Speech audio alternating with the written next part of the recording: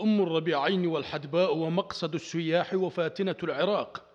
كل هذه كانت تطلق سابقا على نينوى ثاني كبرى مدن البلاد لكنه ما بعد تحريرها عام 2017 من قبضة تنظيم داعش.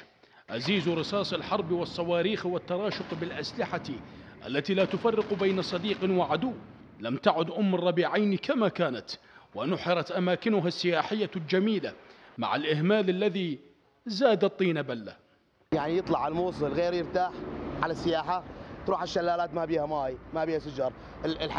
الفيل ماله كله أصفر لا سقي تشوفين وصاخ تروح على باب الطوب 100 فندق بيها ما معمر.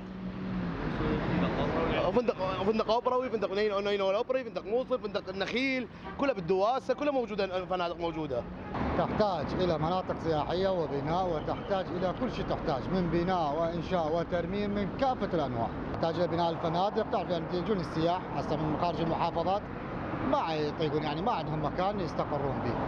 يحتاج إلى إعمار الفنادق و يعني كافة كافة. بحسرة يقولها المواطن الموصلي مدينتنا كانت مقصدا لكل سائح من مختلف محافظات البلاد.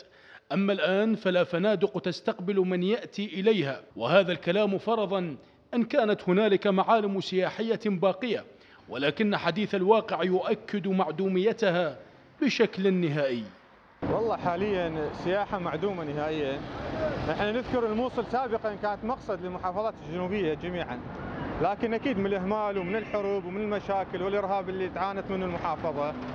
فحاليا السياحة تقريبا معدومة صفر. هاي اولا. ثانيا حتى السائح اللي يقصد الموصل ماكو فد فنادق تستقبله. المناطق السياحية كلها معدومة وإهمال وماكو أي أي لفتة من الحكومة. فنادقها غاباتها أماكنها جمالها وسحرها. كل هذه شوهتها حرب التحرير الأخيرة.